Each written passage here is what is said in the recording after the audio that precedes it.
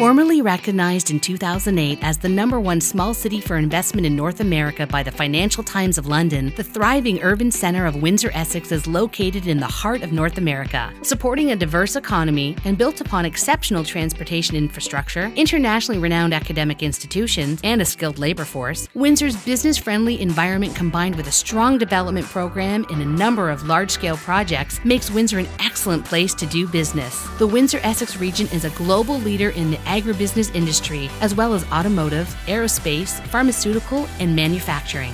Windsor has been named one of the top 20 research communities in Canada by Research InfoSource. Known as the intellectual capital of Canada's automotive industry, Windsor is home to the University of Windsor and the Chrysler Canada Automotive Research and Development Centre. Our city continues to grow, and we encourage you to join the success that is taking place in Windsor every day.